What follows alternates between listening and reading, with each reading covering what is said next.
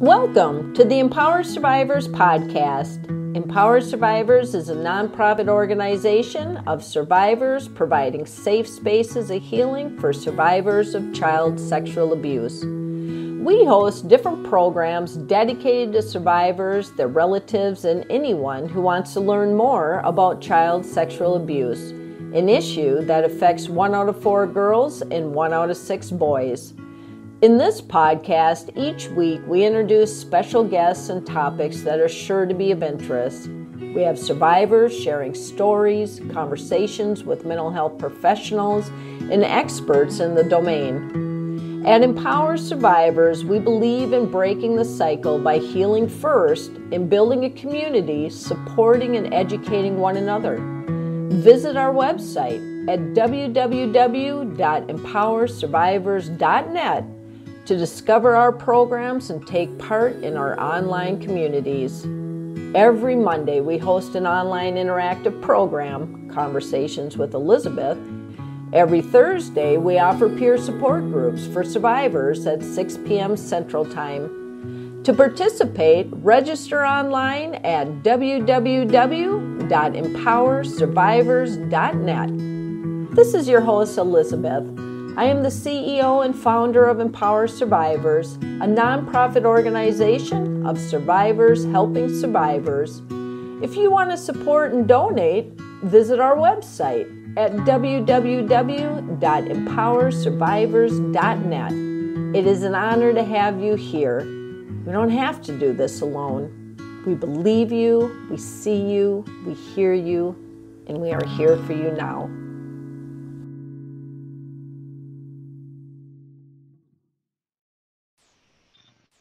Uh, welcome to Conversations with Elizabeth. It's great to see everybody here. This is a Empower Survivors program. So uh, tonight's recording is uh, is being recorded, just so everybody knows uh, that that is something that is being done here tonight.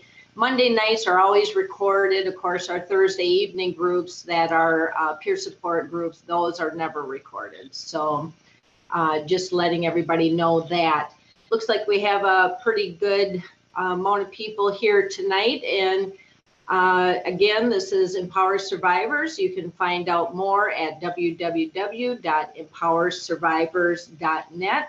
I'm Elizabeth, your host, and also the uh, founder and CEO of Empower Survivors. So it's great to have everybody here tonight.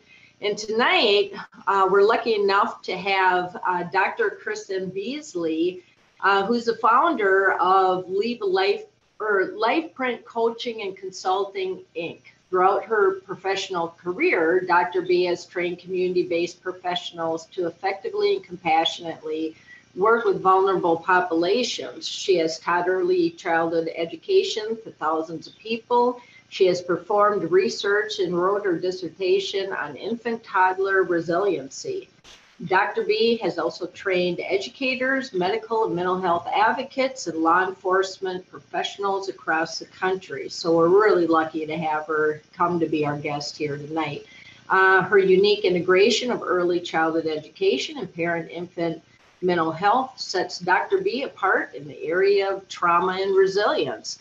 Tonight's topic is how to talk to kids about sexual abuse and building factors, even as an adult, to help mitigate the effects of childhood trauma, which we, a lot of us uh, listening in tonight, have definitely come from childhood trauma, and a lot of us from childhood sexual abuse. So we're really happy to have you here tonight. Thank you, and welcome to the program.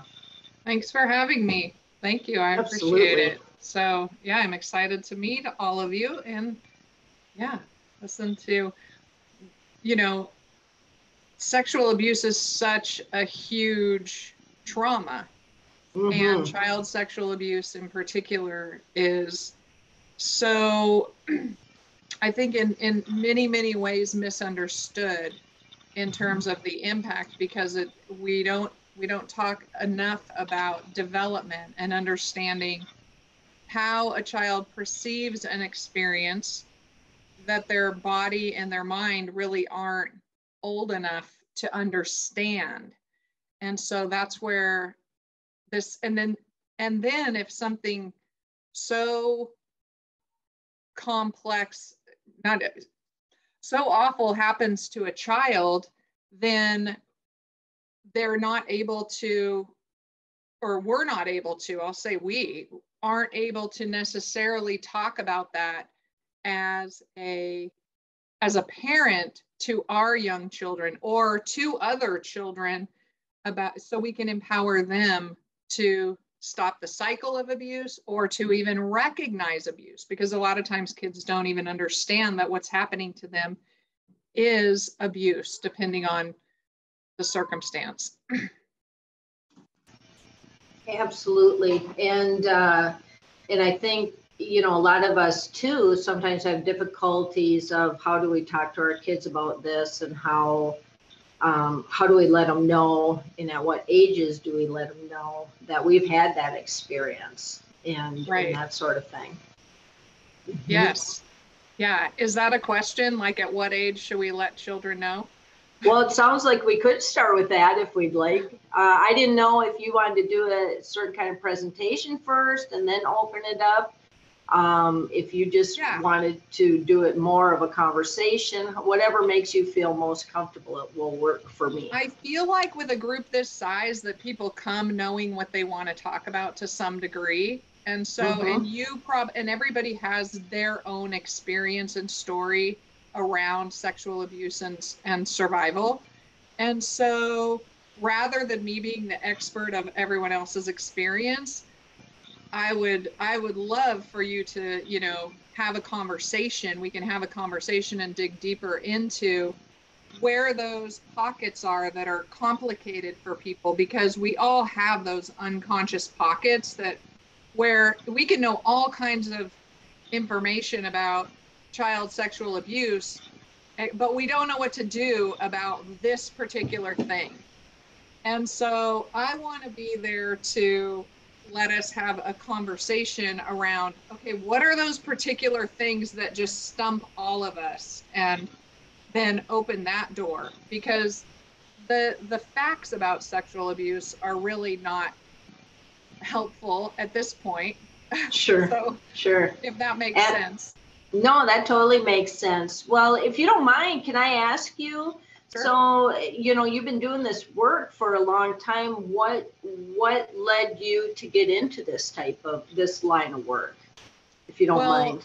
Yeah, no, sure. I'm I'm I started my career in early childhood. So I was really fascinated about child development and education and how children build resiliency. I don't know why I was drawn to that. And I didn't know until later. And then I started to study infant mental health. So, how babies develop and how their brain develops and neurobiology of development, and how some people overcome trauma and have resilience, and how other people completely succumb to trauma and are not able to overcome that adversity and, and be as resilient. I am actually a product of that experience within my own family where I have my brother allows me to share this story where, you know, he struggled very much with addiction. And I actually credit him a lot with, and both of my siblings, my brother and my sister, with being sort of my protective factor. I'm the youngest. And so their ability to be protective for me allowed me to overcome adversity where for particular for them or for particularly my brother he ended up you know not having that person and that relationship where he was able to get out of addiction and thrive until much later on in his life. And so i guess there's really no way that you can um, you know, one particular thing that led me to becoming a clinical psychologist because I started my career in education. And then that led me on a path of personal self discovery, things that happened to me and things that happen to other people, and then how all of those interact and create our how our brain works and how we respond to it and then how we heal from the traumas that we've experienced. Absolutely. And, you know, you mentioned, uh, you know, al- alcohol and drug addictions, and it's important to note, I think, that two, you know, they say two thirds of al- two thirds of alcoholics actually have uh, sexual abuse in their backgrounds or or childhood trauma. So I think a lot of us, um, at certain points, it's not uncommon for us to become addicts or or have sure. issues with that. So um, right. that's something that a lot of us have to work through in order to, you know, for our healing and that sort of thing. Right. Um, are you so, familiar? Are you familiar with the adverse childhood experiences study? Yeah. I am, but if you okay. would like to kind of let our listeners know, I'm sure, sure that they'd like to hear what you have to say about it. Okay, some some some of you shook your head yes too, but I'll just do a quick overview. I was just recording some classes earlier today um, about trauma and adverse childhood experiences and how there's a direct correlation between childhood trauma and mental health and physical health consequences. So they impact our body and our mental health as well. So people who suffer from adverse childhood experiences, which in the study only lists 10. However, in real life, we all know there are lots of things that could be considered a trauma that impact our physical and mental health. So we can suffer from depression, anxiety, diabetes, struggling with alcohol and drug addiction, uh, a variety of other consequences from from suffering from childhood trauma as well as our intergenerational transmission where we carry that on with our own children. So either we we end up pulling way back from it don't have children or we recycle our own parents parenting and do it over again until we begin to learn the story, tell the story, and reenact the story in a way that's healthy and safer and makes sense to us. Everyone's story has to make sense to them. We have to be able to tell our own story from chapter one to chapter 100. And when we can tell our own story and bring that unconsciousness to light, then we're able to heal from that trauma and move forward and we can share it. And you you you brought up the question or the comment you know at what point do we talk to kids about sexual abuse or what time do we at what point do we tell our children oh my gosh this happened to me. Something bad happened to me whether that's mm-hmm. physical abuse emotional abuse sexual abuse something. Well I believe, I think that when we can start to talk to young children in very appropriate ways, we talk to kids at their developmental level about anything, including sexual abuse from the very beginning, that that's the safest way to keep them safe. Because if they're able to, when children understand from the very beginning of life that their body is their body, and are we going to be able to explain sex or a sexual activity to a child who's prepubescent? No, can't do it. It's like trying to explain sand on the moon to those of us who've never been to the moon. Like it just, there's no way to understand that because there, there's just, it's not possible. However, we can start to instill these concepts in young children and little, little children. Your body is your body. It's, it's never okay to keep a secret. You have safe people in your life who you can share share a story with and it's not breaking a secret. And some of these things can be really difficult, you know, in families, you know, because they don't want little children to be able to say no to, you know, grandpa. I don't want to sit on grandpa's lap. I don't want to kiss grandma goodbye. I don't want to, I don't want somebody picking me up and touching me. I I'll share a story. I had an uncle who, whenever I walked in the room, and I was four, whenever I walked in the room, he would pick me up, hold me in his arms in front of the whole room, my parents, my siblings, and he would French kiss me. Okay, talk about and stick his tongue in my ear. Okay, so inappropriate. Not about me. This is, I'm four. I have no control over this. My feet are off the ground. And I would remember that I would you know, put push my lips together. And that person, I never questioned. I knew I didn't like it, but I didn't question it because my parents were present. When I actually recognized that as an inappropriate interaction with an adult, not until I was 14, and actually now I'm in adolescence and I know what French kissing is. And I went, wait a sec, big memory back to that. I went straight home and said to my mom, like, what were you thinking? Why did he do this? You know, what's the what's the deal? And she was in the room and never recognized that. So it requires everybody to be persistent about watching the environment, having open conversations and telling other adults in the space that, you know what, we're we're all in this together as as protectors and parenters of all children absolutely. And you know it's it, you know you bringing this up um now as far as me i started to speak with my kids at a pretty young age. And part of that was due to um, suddenly having to deal with my own abuse that i had put so far away.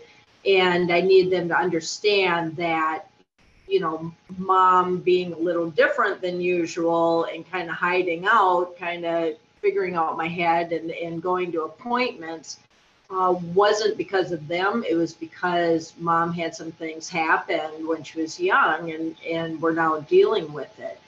And, and in talking with family members, you know, I try and stress to to the adults that it's important for them to know what childhood sexual abuse is, to be able to recognize grooming, to also, like you said, give these kids permission to be in charge of their own bodies. So instead of forcing them to hug or kiss or any of that, um, leaving it up to them. So the kids, you know, if they don't want to give a hug, give a fist bump or something like that. And I and also know that anything that makes you feel icky, that you get that icky feeling, that it's okay to say something.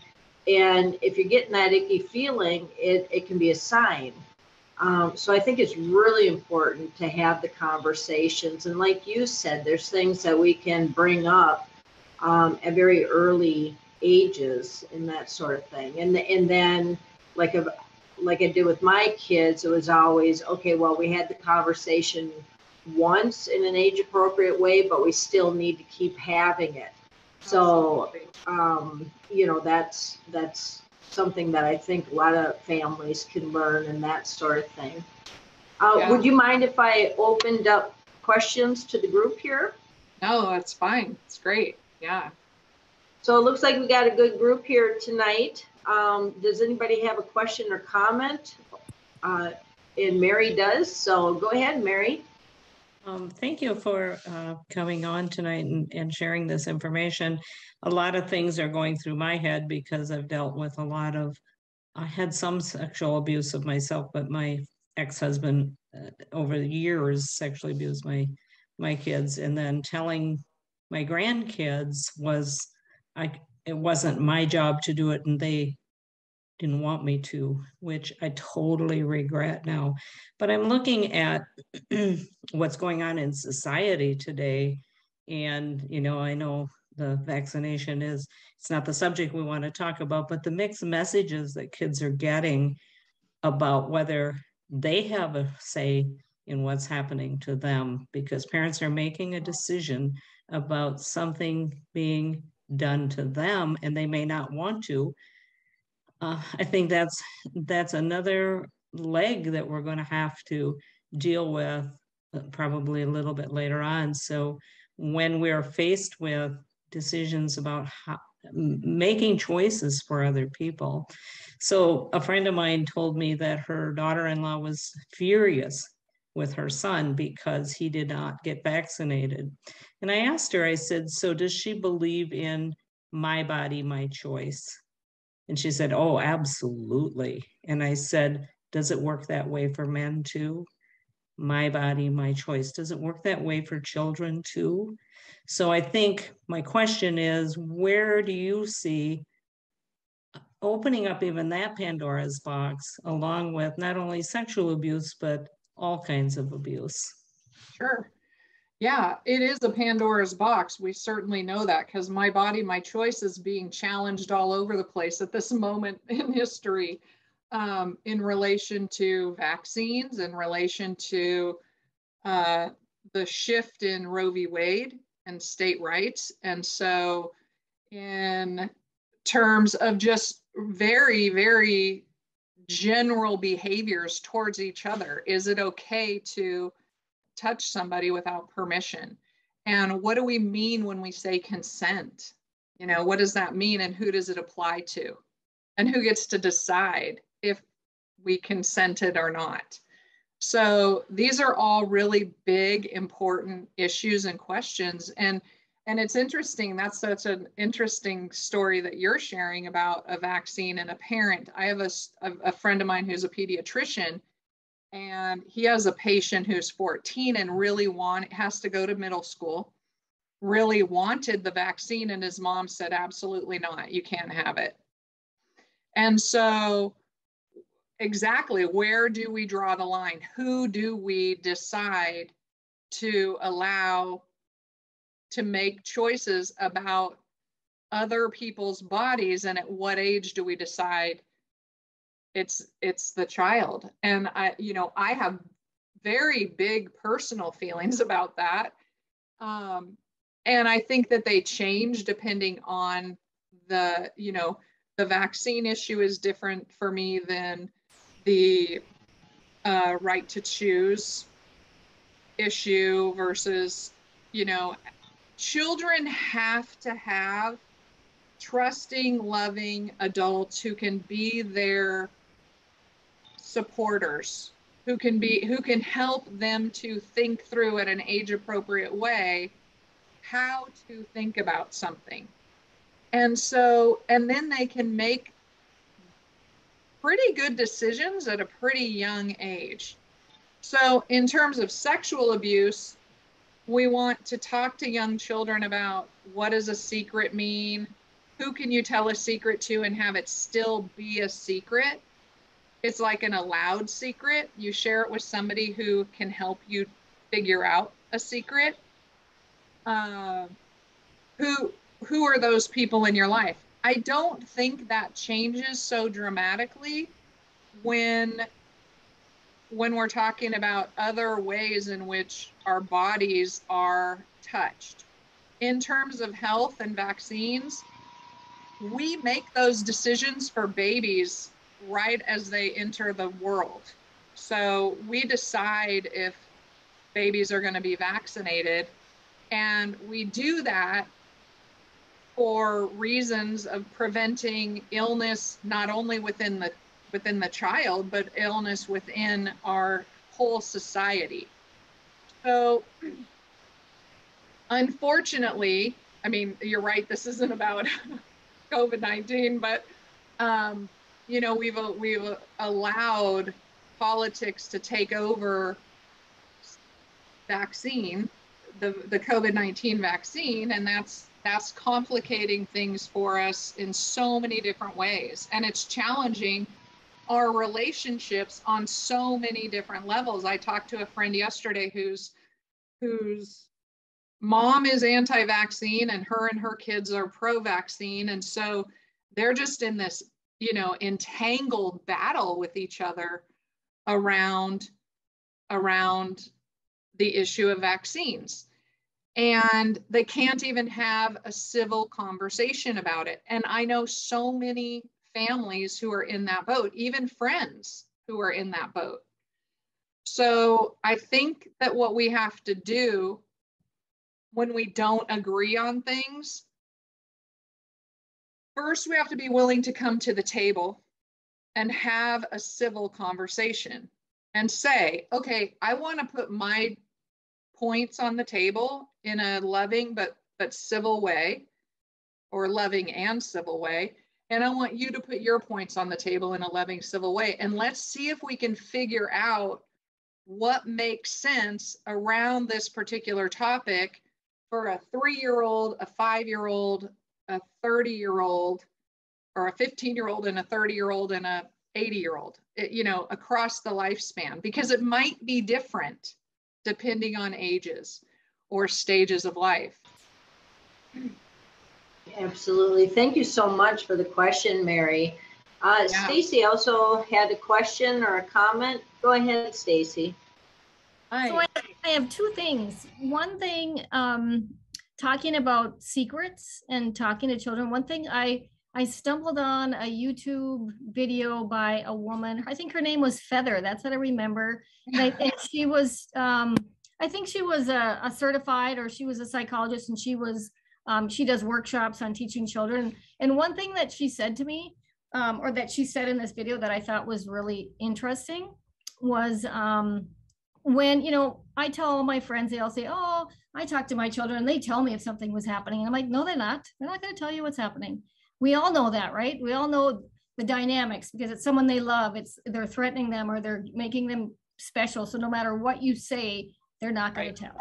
Right? right? And they don't believe you. But and then she did say, I tell children you have permission to tell because she said, what if what if you go to a child and you say, you would tell me, right? You would tell me if somebody touched you inappropriately in the wrong way. And what if it's already happened? Then the child is like, oh, I did something wrong because I didn't tell, and now I can't tell because I'm going to be yeah. in trouble. So she said, I say, I give you permission to tell me whenever you need to. So I thought that was a really cool thing because it changes the whole dynamic of how the child is going to perceive it. You know, and I wish somebody would have done that for me, for sure. Mm-hmm. And how many people is there anyone else out there who, no matter how young you were, um, the recollections you have, you immediately felt like, why did I cause this to happen, even when you were really little? I didn't hear the first part of the question. Oh, is there anyone else out there who, when the sexual abuse started, from what they can remember, the immediate feeling was, what did I do to cause this? I mean, even when you're only five. Sure or even younger. Yeah, I know. Yeah, because I'll let anybody answer if somebody wants to respond to that. In other words, um, why do well, some people feel guilty immediately and others? I, I don't know.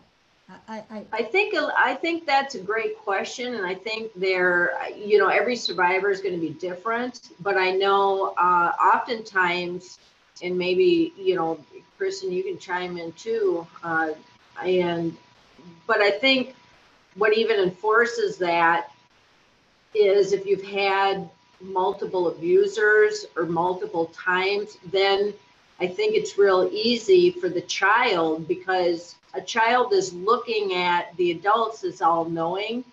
And if the adults say that this is okay or this is happening, then that the child takes it on like, well, um, you know this is something about me or or maybe they've been told during the you know during the abuse um, that the you know some perps will tell kids hey you know it's you're making me do this or you know but i think a lot of this gets put on kids and and we have kids that will know that you know hey something's going on here but we also have a lot of them that take it all on all the blame and shame and everything else and and some you brought up a good point too uh, stacy you were mentioning about um was, i'm trying to remember what you said here about giving somebody well, to tell instead of saying you would tell me if somebody touched yeah. you. Absolutely. And and that made me remember a time when I was talking to an adult niece of mine. She had five little girls. And so we were talking about the importance of having conversations young and discussing, you know, body and this and that. And and she had said to me, she goes, Well, Aunt Lizzie, um, the kids know to always come to me. And so I said, Well, that sounds good, but let's do a test. So all the little girls were playing, and I said, Hey, girls, if an adult says to do something, is it ever okay for a child to say, No, I don't want to do that? Well, every one of the kids I mean, they're raising their hand, they're thinking this is all fun, and they're like, "Oh no, you always have to listen to an adult." This is, so that created a whole new conversation, and of course, she was kind of devastated because she's thinking, "Oh my gosh, I thought the kids would just know, you know, certain things." And of course, we all know that's not true. So, uh, Dr. B, I'm sorry, I probably no, it's fine. No, that's great. right over you. No, so. you, you you sparked my thinking about our our adult expectations of children that they're very mm-hmm. much like mini me's, and they're not at all like mini me's. They don't think and conceptualize experiences the same way that adults do. And every age and stage of development, they do that so differently. And so having realistic expectations as a parent related to the age of a child is critical. We have to know what we can expect. And expecting a child to come to an adult with a store a, a secret about sexual abuse is a really tall order for a very young child because there's just no no framework for them to talk about sexual experiences or and sexual abuse when you're a very young child. It's it's just not not a thing. And yet it happens. And what if that person is the father the grandfather the loving uncle the brother the neighbor somebody that everybody loves and adores including you the victim. Then it becomes mhm. even more complicated and our brain forces us to say I either need to put this away, I need to put this into a box that I can, you know, try to make sense out of and go along with the loving person, or I need to come forward but I don't know how. Like I don't know how. So there's there's so many rabbit holes that every single sexual abuse experience includes right? There's age, there's stage, there's the perpetrator, the relationship to the perpetrator, the relationship the parent or the loving adult has to the perpetrator. Because what if I come forward and they don't believe me? What if it's, you know, my mom's husband? Then, and my mom then rejects it, me and doesn't believe me. So there's there's all of these factors which are for us as adults, we can hold them separately, but for a child, they don't have the capacity yet because they're not mature enough to be able to hold several different thoughts separately at the same time. And that's really important for all parents to know is that young children can't hold these things out separately. So we have to do it for them. And we have to spell it out up front. And I love your story, um, Stacy, about giving children permission. I often like to say, um, let me help you with the words. Here are the words of this happening. If somebody puts their hands on your private parts and you don't like it, that's sexual abuse. Okay, we've just said all the words. like, okay, we're not even going to mess around with, you know, we're not going to mess around with being vague with young children because children are very concrete. So we have to explain things to children in very concrete ways and then allow them to have those conversations with us. And I think this is what happens some of the time. Children then play with language and get in trouble for it. So think about it. Seven year olds typically play the show me yours, I'll show you mine, you show me yours game. It's very developmentally, well, let's say between five and seven. It's not outside of an age appropriate thing to do like whoa you've got something totally different than i do and i you know let's let's look but if then a child is shamed for doing that rather than educated about it then that shame becomes part of the story when somebody else comes along an adult in an abusive sexual way and takes advantage of a child and then the shame won't allow a child to come out and share that with anyone because they do feel like I don't know what your name is, but you're on Stacy's screen. You said like, where does that go? It goes into this, you know, the shame space. So do you don't don't you think too? I mean, the reasons that some little, I mean, it makes sense that little kids would take this on thinking this is all me, it's my fault.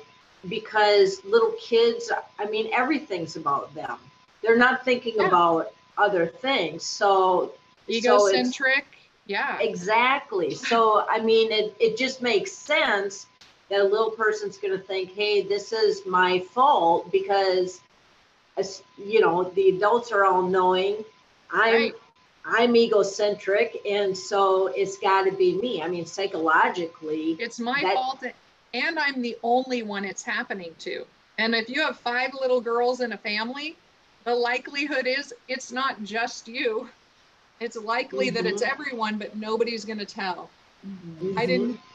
So do you? So do you think then?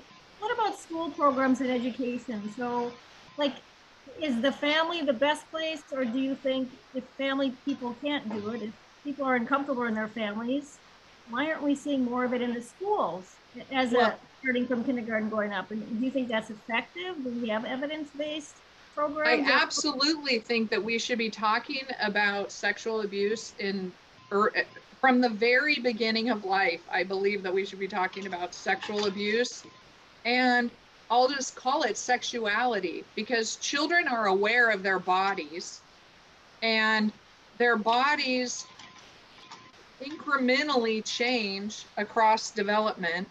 And so, yeah, we need to be talking to, we need to connect children's brains with their bodies, allow that to be okay.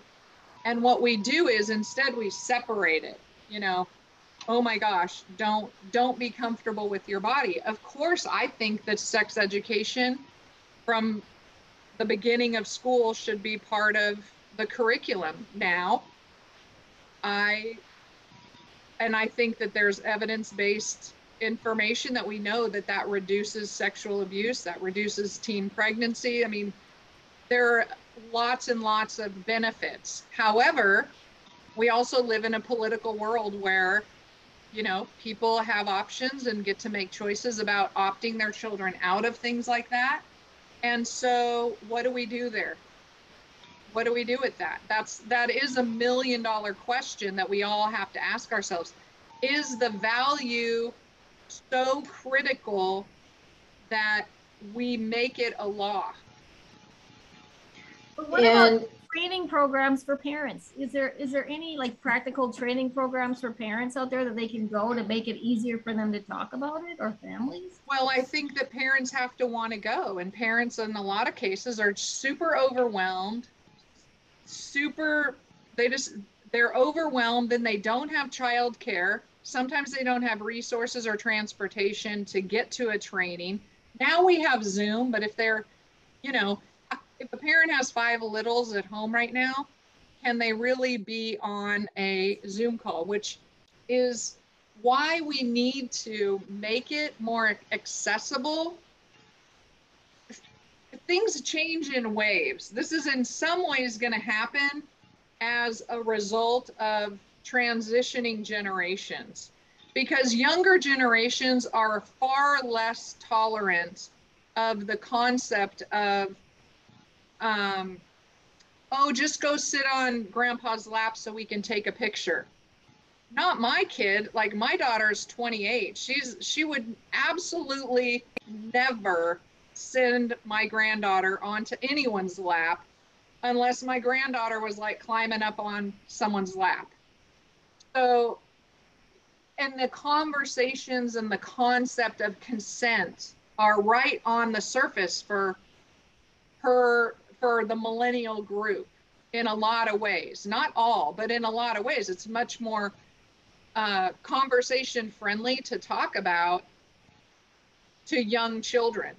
Where in my generation like i like i shared with you earlier i didn't even it didn't even occur to me that what this person was doing to me was wrong or bad i just knew i didn't like it but i didn't think i should tell anyone i just tried to manage it myself and avoid it but if somebody had said to me hey Kristin, it's never okay for somebody to touch you in a way that you don't you don't like that makes you feel icky. Somebody used the word icky. That's a perfect word for littles. Somebody does that, it's okay to come to me and we'll we can have a conversation about it and I'll keep you safe and we can talk about it. Then I probably would have been like, "Oh yeah, remember that my uncle M did this thing to me and I didn't like it." And so then it would have like burst the whole thing open, right? Instead, mm-hmm. my aunt, who I adore, divorced that person. I never saw him after the age of five, but who knows where he went? Who knows what he would have done after that, or who he who he had access to after, you know, my particular family. So we have to be able to put the words on the table for children to grab and use. When we don't do that, we, we expect them to do things that they're just not capable of doing. They don't even know to do that, that they're allowed to do that. Just like saying no to an adult. You're not allowed to say no to an adult. So I don't know if you're familiar with um, it's a it's a book series called A Kid's Book About and it's um, this particular book, which is upside down, is called A Kid's Book About Sexual Abuse, and it's by Evelyn Yang. And her husband ran for president, but Evelyn Yang came out and shared about her sexual abuse by a her obstetrician, her gynecologist sexually abused her during her pregnancy. And she didn't come out and tell anybody about it for years. And she's an adult, she's educated, she's, I mean, but but the shame didn't allow her and the fear of people not believing her that kept her from telling. Now, if we can't expect a grown, educated, competent, powerful, pretty powerful woman to come out and share about her sexual abuse experience as an adult, how in the world can we expect a little young child to share about their sexual abuse experience in their in their childhood during during their childhood. We can't. And so we have to so she wrote this book and it's it's a book for children to be read with an adult. And it's a it's really a great book as a, a share to. The book series uh, it's called a kids company about and they they write all sorts of books about a kid's book about addiction a kid's book about technology a kid's book about all kinds of a kid's book about shame depression alcoholism you name it, divorce, optimism. I'm writing a book called A Kid's Book About Resilience. So there's all these themes that in this book uh, bring a parent, an adult, and a child together to learn to talk about something that's hard to talk about, but it allows the child permission to have a conversation about something that would otherwise be pretty taboo. Absolutely. And I actually had uh, two things I wanted to add. Um, Stacy had said, you know, what what about schools? And I think the big thing with schools, because you look at uh, Erin's law, where you know, I don't know uh, who all knows about Erin's law, but it's a law that that uh, Erin was trying to get passed, and every, she's a survivor herself, but she was trying to get it passed in every state that um, schools add this to their curriculum, prevention of sexual abuse, and unfortunately, it was you know, fortunately, it has been passed in states, but unfortunately, there isn't a curriculum that goes along with that. So we're still not seeing the education in schools.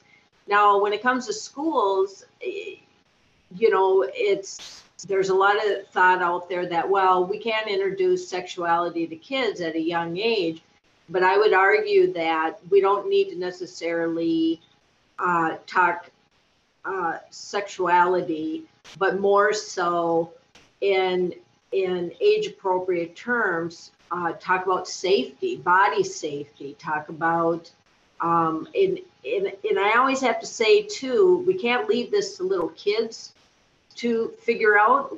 We as adults need to be empowered to learn the information.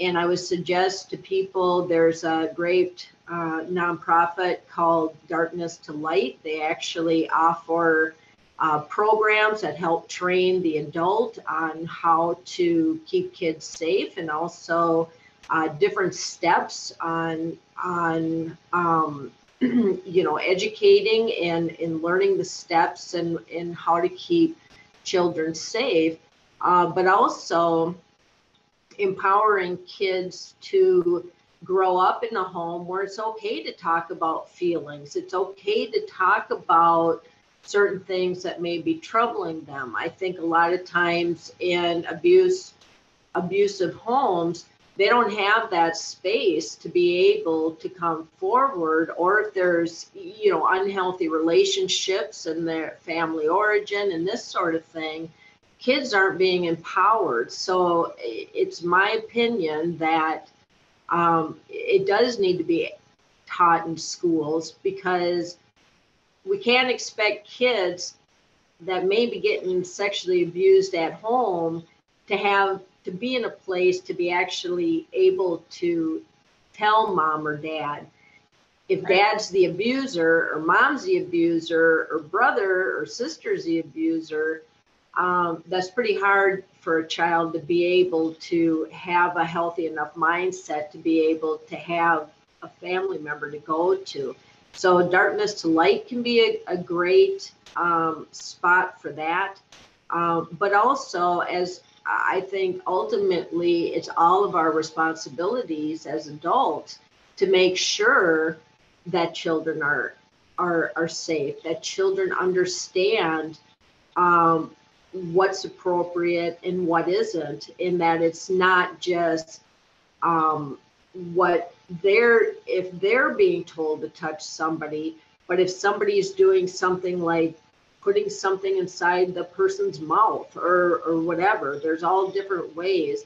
So I think it's it's uh, really really important to educate our kids, but mostly to make to educate adults and also for adults to know if they suspect something, it's not their job to figure it out necessarily. Let let protective services figure it out. And if there's a question at all, um, you know, ask it. But one of the top things that Darkness Light will say is there should never be a time where a child is in a room alone with an adult. So there's things that you can do within your churches, within your schools, within within your communities, where you can ensure the safety of a child. So you never have them in a position where something like something as simple as letting Johnny run to the bathroom at the mall by himself. Well, that's not safe because kids can get molested in the bathroom at the mall. Or, you know, sending sending somebody off into you know off with somebody that maybe is a boyfriend that you know maybe that boyfriend um, looked for the single mother to that had kids and was tired and and uh, needed extra help so there's things that we can do as an as adults. I think Darkness to Light is a great uh, resource. There's, you know, you can Google things on the internet. There's all kinds of uh, different programs or, or, different literature where you can learn on that. And, and I just think that's a really uh, great thing that that adults can be empowered enough to learn the education and you know but we also need to have that in the schools but it comes yeah. down to are we teaching our kids sexual sexuality or are we teaching them safety and I think if it's words are huge, and I think you're going to get a lot of backlash if you're trying to introduce something that appears to be sexuality into kindergarten rooms or first or second. But when we talk about body safety and good touch, bad touch isn't enough. It's other things. Um, One of the things. Know, oh, sorry. Go ahead. No, that's fine. And and then when you're done, Dr. B, um, CS had a question too. Oh, okay. But you go ahead. All right. Well, what I was just going to say very quickly is I think it's so ironic and so wrong that introducing sexuality or sexual words or safety, sexual safety words in kindergarten is so like, oh my gosh, we can't do that. But it's perfectly fine to protect people who molest, rape, and sexually assault children. Whoa, wait a minute. What's wrong Absolutely. with us? Why in the world are we so concerned when, when one in three women are sexually assaulted in their lifetime? Why are we so concerned with saying the word sex to a kindergartner? They're playing sure. Grand Theft Auto. They're playing, you know, I mean, this is this is they're they're pimping out women on their video games. I mean, this is not, mm. this is a cultural extreme that we're in in terms of overly protecting perpetrators and underly protecting children. And it needs to become all of our job. Just like we think of gun safety, we need to think of body safety. If you're not, Absolutely. if you, if, if I would hold somebody accountable, hello, we just arrested two people for allowing a 15 year old to get a gun and then go shoot a school, shoot up a school and mur- and kill people, murder people. They're being held accountable for that negligence and resp- of responsibility. In my world, I think that we should feel we should feel the same way about children and sexual abuse. That it is all of our responsibility to be saying, "Hey, you know what? It's not the kids who are going to get sexual abuse curriculum in school are not necessarily the kids that we need to be protecting from sexual abuse at home. It whether we tell whether they tell or not doesn't protect them. We have to find strategies that actually hold the perpetrators and the abusers accountable in a way that's harsher than what we do right now is hold children accountable and we punish children. We send them back into the home. We tell their parents who are in a relationship who don't believe them with the perpetrator. We do all these things that make it impossible for our littles to be safe because we want to be sure to protect the the perpetrator. And I'm just so not on board with that. And I think, yeah, we don't have good curriculum. And as a person who professionally trains and consults in as a business i don't believe that you can somebody could take my training and walk away with it and then use it in their classroom and do it justice because i mm-hmm. do believe that people have to what i do, what i don't do is give people training to train i say if you want to learn about training something then you need to learn that material inside and out and we will build your training to use in your classroom with your audience with your children and your parents. Because nothing is that universal. And we know that sexual abuse is so diverse like there's so many different ways to sexually abuse or assault a person. There's too many choices we got to we have to keep it simple with littles keep it really simple this is your body and nobody should touch it and when you feel like it's been violated what does violated mean when you get that icky feeling trust your instincts. That's your brain keeping you alive. That's its only job. Your brain is to keep you alive. And when your brain pops and says, that's not okay, I don't think that feels right, I need to be allowed to go to a safe person. And that safe person then has a full blown responsibility to keeping me safe, not turning me back over to the abuser, which we do all the time, unfortunately. All the time, all the time. And we all have to be held accountable for that. But I will say this I think it's fascinating that we're all women here, and we need to bring men on board, and men need to become responsible and hold other men accountable for their abuses. Because really men who rape sexually assault sexually abuse women give good men a terrible name. Absolutely. makes all men seem like horrible people. And i'm the mother of two adult sons and i have a son-in-law. So i have three beautiful adult men in my world that i love to death who i do not i am not okay with them not being held responsible for other men. And I fully expect all my boys to stand up for women and and children at all times in the arena of sexual abuse and we've and I've had we've had this conversation as a family of adults because we have I have one granddaughter she's 6 but you know her mom and dad are very like we're all really clear about where this little is allowed to be and you have to be like that. And it's not because there's all these sexual abusers in our family or our house but it's because if we don't do it on the front end we certainly do not want to risk it on the back end. We're not willing to risk charlie's virginity or her her humanity without having this conversation up front ahead of something terrible happening. And terrible things happen, and people can heal and people can overcome and be amazing afterwards. However, if we get a choice, have it happen or not have it happen, let's pick not have it happen. So Absolutely. somebody had a question. I just had to get uh, my, my rant on. no, I, I thank you so much for that. You. Uh, CS, you had a question or a comment?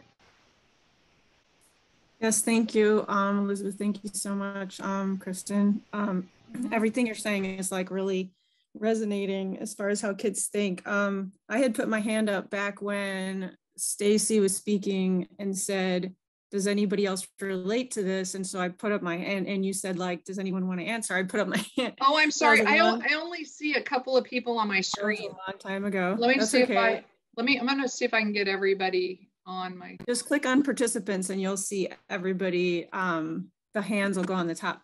But anyway, um, so I just wanted to, after everything that's been said in between, the most important thing I want to speak to is um, for myself and others who, you know, others like me who did not feel icky. You know, I just want to speak for myself who did not think anything was wrong, did not, did not, cannot even fathom. Um, Thank you, CS. You know, you know there's you know like like um if anyone's seen the documentary leaving neverland um i know i'm not alone because i got to see that documentary and i got to hear them saying you know how much they um, they were for what was going on. They would not have wanted that to stop. They would not have wanted, you know, they thought that this was real love and and and they they just you know figured that's you know they just believed everything they were told this is what this is what love is and in my case um you know just being so young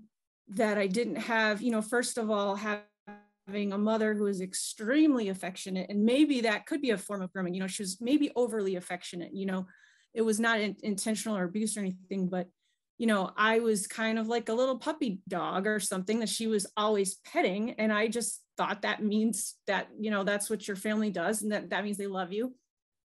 And when my grandfather did it to me it was like there there couldn't like it must be okay because he's my family it must be okay because he's an adult and everyone else hangs out with this guy like he's just part of the family so i didn't understand it But if you would have asked me at the time, you know, I would have had like, eh, you know, mixed feelings about what he did. Some of it I, I just didn't understand. Um, you know, or some of it I, you know, I'd rather do without. It's like maybe like eating your vegetables, but you still think, I mean, I still thought that this must be you know for my you know good for me and I, and I've heard so many stories since then you know to, that that validate that experience and so many you know especially with people with doctors um you know like especially the doctor will say like yeah well this is how it's done this and who are you to question you know um or yeah just so many situations and so many people uh, people who are you know their parents don't abuse them but their parents send them off with other adults to do things and the adults don't hurt them and they just think oh i'm making money for the family you know um, and they never actually, you know, there was a survivor who was talking about it and said like she didn't think that was, she just didn't think there was anything wrong with it. She had no idea, um, because you know it was just something she did to help out the family. And um, yeah, so I just wanted to speak that that the language um, wouldn't maybe maybe wouldn't have worked for me. You know, if somebody said like, "Is anyone making you uncomfortable?" Because like what you know I, I the way I usually tell it is I say there's categories of different touches from my grandfather. There was the ones that, you know, I looked forward to. There was the ones that I could care less, and there were the ones that really puzzled and confused me. Um, but still, none of it was like scary. I didn't feel like, you know, I didn't know anything was wrong. I just thought that, but but I did want to answer Stacy's question, which was did anyone else feel you know like it was their fault? And and as a person as one of the people who who didn't even think it was wrong i just wanted to affirm that even i still thought that it had to do something with me. Like why does he do you know it's it's this weird thing. I mean i guess i thought that's just his way. That's just how you know old people they're weird. They do weird things. Who knows why they do what they do? He hums under his breath all the time without realizing it. And that's just grandpa. He he does these you know i won't name anything explicit but you know inappropriate touches. Why? Who knows? You know i just figured that's but i still eventually started to think it must be something about me. It must be something about me. And so that's what led me to tell my mom with with uh excitement and pride that this meant i was like really like i figured out that it was i was so special. So that's that's what led me to tell. But you know the yeah i don't i i do i do have a lot of um i have been questioning this a lot like what could have been done um to prevent that. I mean there's so many things. My aunts could have told anyone other than their mother who covered up for her husband that they were abused they could have told my father who had no clue that my, that, that that his father was a pedophile um, you know, and my my mother could have could have told authorities instead of just telling my dad who was divorced. Um, my dad, instead of just wondering, well, let me see if this is true and let me try to catch him, he could have, you know, um, talked to me about it. But my mom told him, well, she seems like really awkward. So don't, you know, but anyway, um, uh, yeah, so that, so I don't want to take up too much time, but yeah, I, I just there's so many like ways but i just i don't know that saying like is you know if you're be if you feel icky i think it should be maybe a conversation about um how do how do adults show you that they love you tell me how how different adults you know how do they touch you maybe asking i think that that might have i could have said well you know, grandpa, he does. And I would not have any clue until the look on my mom's face. I would have no clue that this was not normal or something was wrong. Right. So that's, that's I, I totally hear you, which is why I think leaving the responsibility to the children is just so not not our most effective way to go. I mean, incest within a family wasn't even illegal in the 70s because it was too disruptive. Like to per, to prosecute a family member who had sex with a child within a family, and I, I say sex very loosely, who who sexually abused a child in a family, they literally did not want to prosecute a family member because it would be too disruptive for the family and allowed instead for the child to just remain in the family and that's you know we can't leave it to you or any other little to figure out the problem. It's our job to figure out the problem as adults. And that means we have to have watchers on littles all the time. And we have to have communication that we are having with children all the time and that children have safe and loving relationships with people who they can talk to who will protect them in their lives because that's what actually leads to resiliency and overcoming adversity if something bad does happen. So I want to let Amanda get in, but I just had to say um, that. Yeah, and CS, I have to say thank you so much for bringing that up. And as you were talking, you know, it, it kind of made me think back. Uh, I had several perpetrators. I know that there was certain ones that were cruel and so it and then there was one that was really loving so which is confusing but as a child i never knew what that was and in fact i was in my 40s and still trying to figure it out and i had to have i mean when the box flew open and suddenly i'm dealing with the abuse front and center and having flashbacks I had to I had to actually ask the therapist, is that was that what was that? And they looked at me like it's kind of odd you're asking this as an adult woman. This this particular one didn't know trauma like we do now, um, but you know, so you're right. You're bringing in things that are it's it's great that that was brought into this discussion. So thank you so much. And, and for many of us, even when we're in our 40s, 50s, 60s, and we're in recovery, we're trying to figure out what was that? Was it molestation? Was it rape? You know, there's certain certain perpetrators I had where definitely as an adult, it's like, yep, that was rape. That was molestation and rape. But then there was some where it was like, well, well, wait a minute, what was that? And they said this, and because it happened so young, I didn't have, I didn't have what I needed to be able to know what that really was. So thank you so much, CS, for bringing that up. And with that, Amanda, I know you've been waiting a while, so let's get you on here, and then Mary, we're going to go to you. Oh, did we lose Amanda? You know, we might have lost Amanda here, here. But she doesn't have her hand up. She put her hand down a long time ago. Well, no, she just had it up a second ago. I just saw it. There's there's a couple different Amandas. The one that I'm referring to was just here and she just dropped off. So Mary, we'll go ahead with yours and then hope that the other thank, Amanda gets back. Thank here. you. And when Amanda comes back, I could spend days with you, Kristin. And I'm mm-hmm. thinking, I'm really thinking that you're a coach, right? And you teach. So I think I need to connect with you. And I have to laugh at CS when she said, Who knows what old fogey's doing? I'm like, Oh, here I am. I always wonder why I'm the oldest one in these groups. And there's been so much going on. And as you talked about what happened at different ages and things, and CS also talked about that. So in 1984 is when I uncovered the incest in my family. And my ex husband had been abusing our children since birth. And my daughter thought something was odd at the age of eight because she saw something on, I think, Phil Donahue. It wasn't until she was 14 and that I was able to really uncover it and get her to tell me.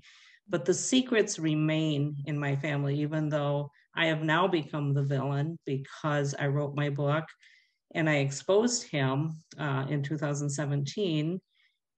And still, my family kept that secret. They all knew because we told them about the incest and sexual abuse, and they protected their children by not telling them. So we have a whole history here of how the generations have developed. And I was the horrible person who kept pushing and pushing and pushing.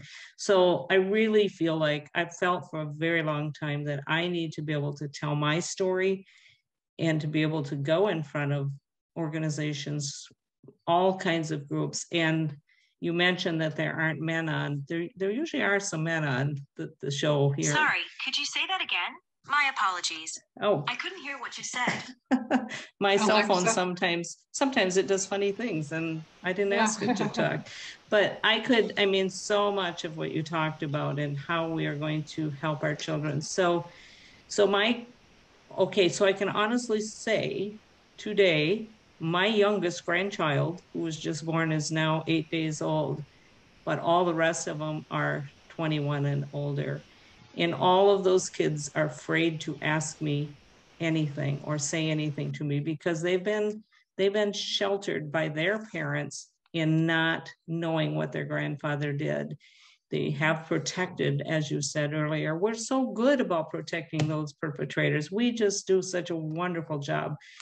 And to some degree i did that too not because i wanted to but because society was not ready to even address sexual abuse. And he is out free running today. He is not um, registered as a sex offender. I know he's abusing. I just know it in my gut.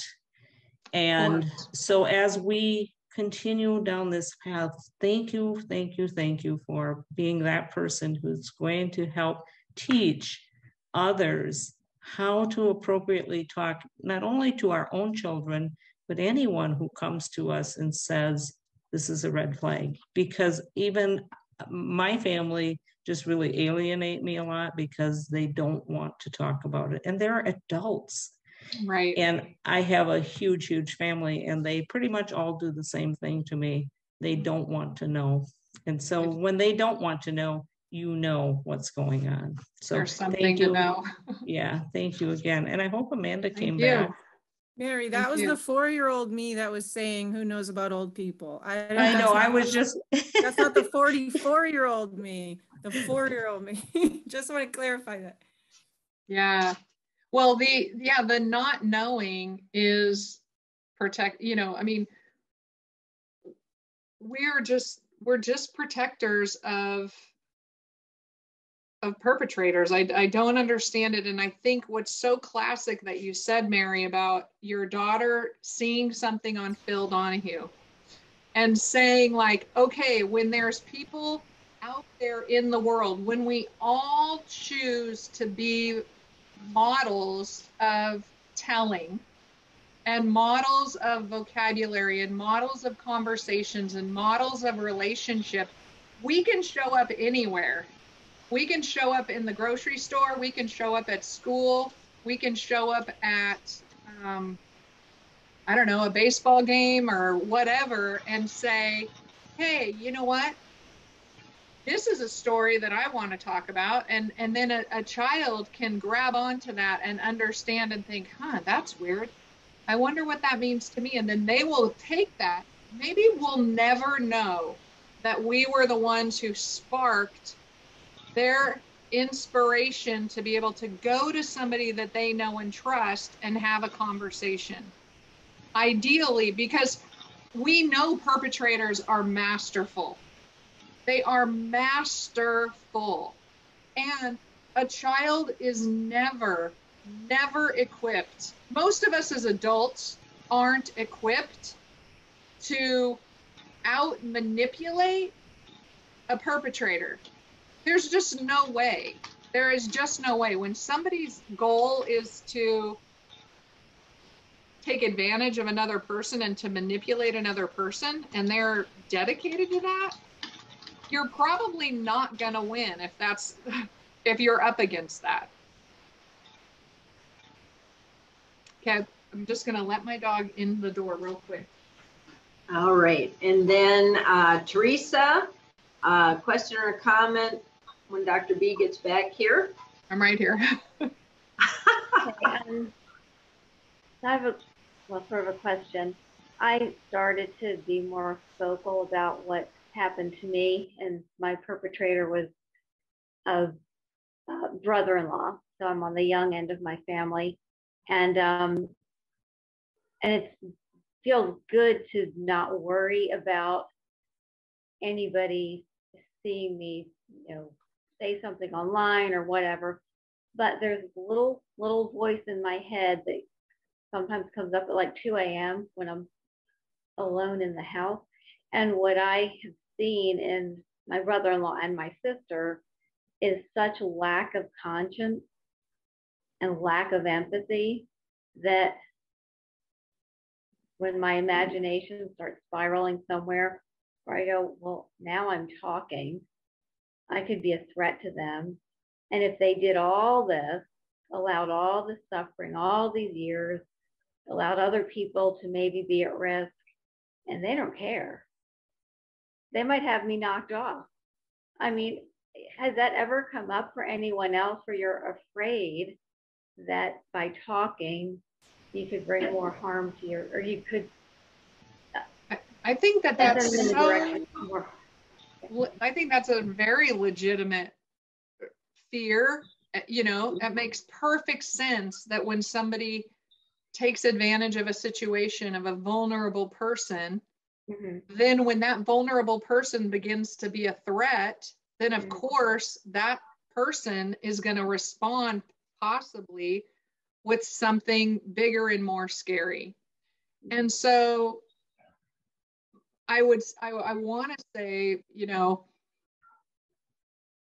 be kind to yourself in terms of that allowing yourself to have that fear because it is a legitimate fear and it does make sense.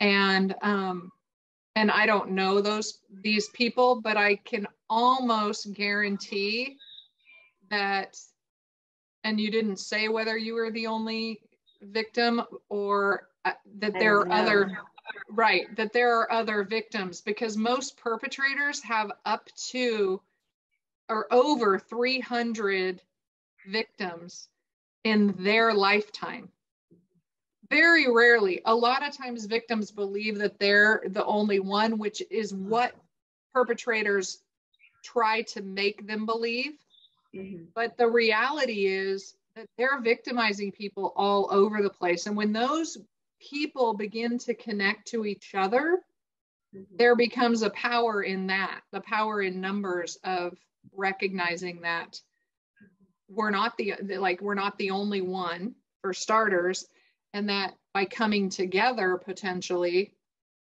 there is a possibility of stopping or that person. I mean, that person is not going to stop on their own. Mm-hmm. Yeah. You know, you know, Teresa, um, you bringing up the, you know, saying that you know you get that fear piece in you. I uh, I can remember feeling that same way, and of course, you know, I had I had uh, several different perpetrators. Most of them were in this area or just across the state line, and so for for a long time, I was very nervous. Um, part of my healing process when I decided to form a nonprofit, I thought I'm going to be the biggest bong, biggest noise. And in part of me, that was my way of basically kind of this is terrible to say it like this, but it was a big fu to every perpetrator I had because they were going to see the business, they were going to see what the business does, they were going to see me. And so there was days where I was like, yeah, hear me roar. And then there were there's times by myself where I'm like, oh my gosh, what if they were to off me? Yeah what if they go out in public and tell everybody I'm a big liar in that I have mental problems and I this and I that and and so you know every once in a while I'd let that kind of overcome me. But it's through the healing and everything else I think at this point I'm further far enough along where I can say you know try it. Because you're going to be out in yourself as a perpetrator if you come around and start calling me a liar and and this sort of thing but it is that's a legit fear and i think sure. a lot of us coming from you know the, these experiences feel this way absolutely Thank How- you so much How for could you sharing that. not? Yeah, Mhm. go ahead, So being Teresa. afraid that they're gonna talk badly about you, but have you had fear that they're gonna, you know, physically you? hurt you and, you know, I, I think that's a very legitimate fear. I don't necessarily, th- I don't know them well. I don't know your situation enough to know if it is realistic to think that, but you do. And the fact that you're questioning it mhm, on my end, just as an outsider knowing nothing about the situation, says to me that something inside you has an instinct about these people and the level that they can go to. mhm. So I would be cautious always, which you probably are. And I think that we also a lot of times underestimate the power of our voice and they're willing, they're wanting to get more away from you in your voice than more than closer to you in your voice because now you have an adult voice that can harm them. Before you didn't. Right? You were you Yeah. didn't have the adult voice that you have now today. Yeah, And so you're a threat to them. yeah, And typically when people are threatened, they back away, okay. right? I mean, just in general, that's typically what happens. Now there are people who don't back away and they move in and forward. You you have a better sense of how these people are and what their reaction and response to you will be. But the other thing about two in the morning, that that voice at two in the morning, Yeah, you're not alone in that. And everybody has that little voice that actually has its it's finally quiet enough Mm-hmm. to hear that little voice and you get to say, "Oh, what is it they're saying?" and they're knocking on the door to tell you something that you need to hear. And and then you can decide what to do with it. But one of the things they say sort of in depth psychology is that your unconscious mind is going to knock on the door and your job is to open the door you got to let let the information in and so and it will get to the point where it's a pounding on the door. And we have to let that information in to our consciousness before we can ever do anything about decide to do anything about what what that message is. But i'm not saying go out and you know be prepared that they're you know have a murder plan for you. Um you know i'm just saying that it's it's normal to have those those middle of the night quiet moments that then get completely hijacked by that voice in our head It is, it is so normal. And Teresa, there's certain people that I've talked to that are survivors where I may say, you know what? In that particular situation, it may not be safe right now or something of that sort. Now, I know survivors that have been trafficked where there's very high profile people and they're in a position where if they did speak out, they very well it, it very well could be a risk to their safety. That's something that they need to speak with directly to the health professionals that they work with. So, you know, the trauma therapist, their doctor, other law enforcement, this sort of thing to figure out, you know, is this a huge risk? Because certainly, um, you know, if I if if I felt I was really really worried, um, I- I would have probably held back. Um, but there was enough people around me that knew the truth that and plus the the safety measures I put in place for myself in my household, um, they'd have a, it, it would be harder. But I think Dr. B just you know our minds go sometimes, and and those fears are real. And so I really appreciate you saying that, and I just want you to know that somebody else in the chat uh, said that they also uh, had that fear sometimes. So excellent comments and question.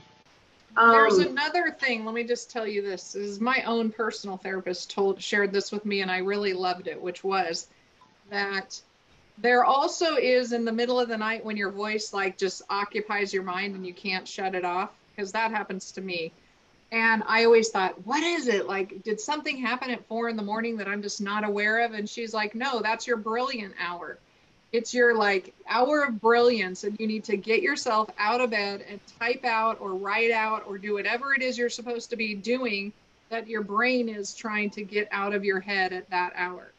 So there's also just this point in the night when we're our brain is so settled that we're you know we're trying we need to learn something from ourselves and so it's not necessarily um, you know it's something that you are trying to it's all about you and yourself and your learning and growing about what you need and want to know so it doesn't necessarily, just because it happens in the middle of the night, it's not necessarily a sign from out there as much as it is a sign from in here. Like you could say, I am having excessive worry about this. Where else in my life do I have excessive worry? And does this make sense? And sort of try to figure it out. Does that make sense? I don't know. Uh, you know, Dr. B, I have to say we have a couple minutes left here.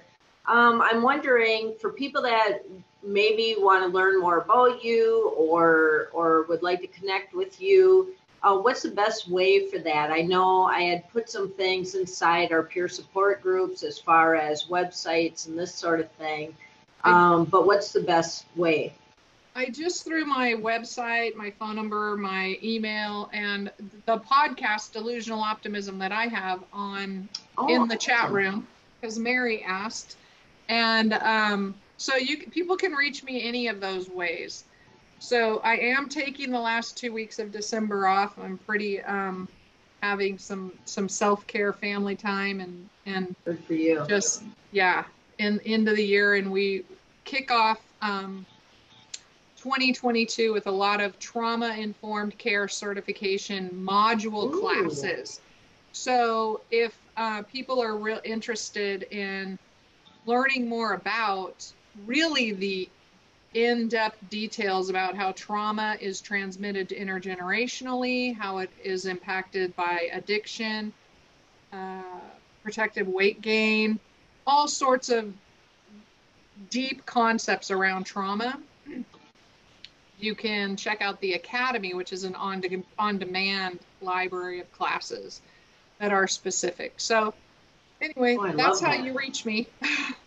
oh, I love that. Thank you so much for sharing. And I also have to say, Dr. Beasley, that um, we are always so appreciative every time we get a professional on here that can, that that you know donating their time i know that you're incredibly busy you you uh, have your own things that you're doing and and but to have somebody come on that's a professional uh, obviously i am not. And oh, uh, so to have a professional come on and and and give us their time is such a blessing. So thank, thank you, you, so very much for being here tonight. I really appreciate it. No and I, it's my pleasure. So yeah thank yeah. you. Thank you for having me. You know, I care about this on all levels. So I just, you know, I want people to get good information and I want us to shift our thinking around protecting children and, and turning in perpetrators. So not or not protecting them. So I wanted to say to Teresa that um, as far as perpetrators go, I know that the perpetrator of my child also raped raped me, so I became a huge victim of his but I know he's scared to death of me now. But he found himself a perpetrator protector who is now trying to manipulate and infiltrate into my grandchildren's lives. And my daughter told me the other night, Don't you ever talk to my children about my mom, or don't you ever say anything bad about her. And she said, Mom, I want you to know that you are my rock. You have saved my life, and I will never, ever leave you. And so I have one on my side at least. Good. Yeah, awesome. It only starts with one. Yep. Yeah. Yeah. I mean, it really does. And and here's the thing.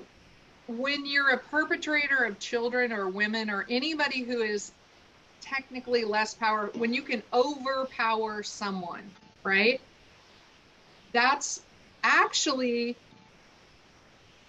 reveals the insecurity and weakness of the person. So they do have, we have this idea, especially if if if the trauma started in, in early childhood, that these people are so powerful. But in reality, they're very uh, oh, what's the word? It just flew right out of my head. Maybe I'm right there with uh okay. That they're they're vulner they're vulnerable in weak people. They're not they're not as powerful as we kind of have created in our minds. Yes, they've overpowered us to some degree or to a huge degree. But they're but they're fearful and that's why they perpetrate on people who are not equal in power to them. Children, women, people that they can take advantage of. So in a in a situation, I'm not saying that women aren't equally as powerful equally powerful like men because we are.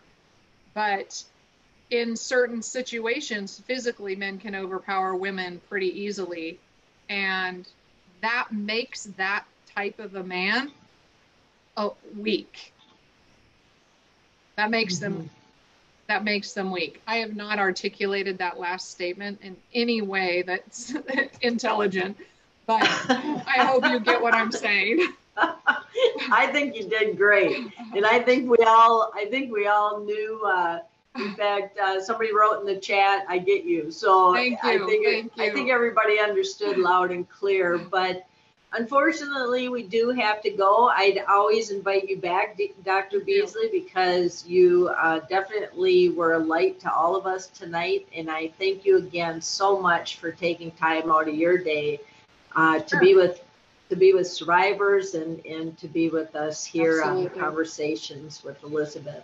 So well, I thank hope you, you all... so much. I look forward to uh, connecting with you on any of these these other however you want to reach out to me is fine.